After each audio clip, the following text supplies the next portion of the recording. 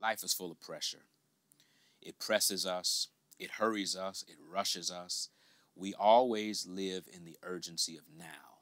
We got a phone to answer, an email to return, a text message to send or to read, someone to call. But the Lord often invites us into seasons like the current one that we're in, where we can pause and take a moment to be with Him. I want you to hear the invitation from the Lord Come to me, all who are weary and burdened, and I will give you rest.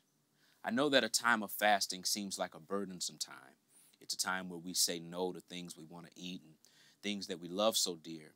But I want to challenge our thinking and to turn that thing around for a moment.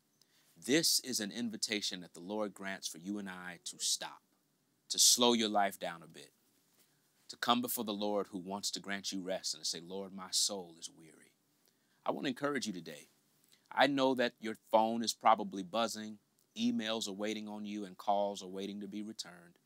But before you run off to those same things, I want you to just take a moment to stop.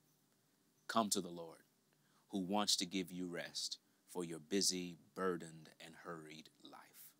That's my invitation for you today. Find rest in Jesus, in His presence, as we go forward in our time of fasting and prayer. God bless you.